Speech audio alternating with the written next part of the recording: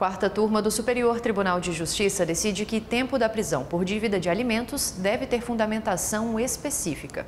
O colegiado entendeu que é obrigação do juízo fundamentar, de maneira individualizada, razoável e proporcional, o tempo de prisão civil decorrente do não pagamento da dívida alimentícia. Com esse entendimento, a turma julgadora fixou no mínimo legal de um mês o tempo de prisão de um devedor de alimentos. No decreto original de prisão, o juízo havia se limitado a indicar o prazo de três meses, sem, contudo, apresentar justificativa específica para esse período.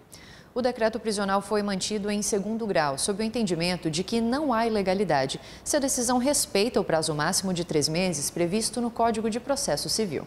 No STJ, o relator do recurso em habeas corpus, ministro Raul Araújo, lembrou que a Constituição Federal prevê que a motivação das decisões judiciais é elemento fundamental de proteção e garantia da liberdade, além de servir como ferramenta de limitação do próprio poder do Estado. Ele apontou alguns elementos que podem auxiliar o juízo na determinação do tempo de prisão, como a capacidade econômica do devedor e o valor da dívida, o comportamento do devedor, as características pessoais e as consequências do não pagamento para o alimentando.